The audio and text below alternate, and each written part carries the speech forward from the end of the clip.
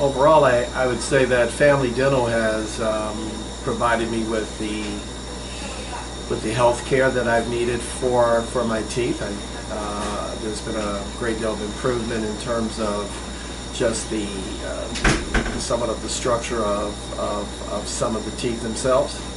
And I would say that in terms of their service overall, I've been very impressed with their efficiency and the professionalism that the staff provide uh, every time that I'm, I'm here in the uh, in the office, and even when they call to make contact with me.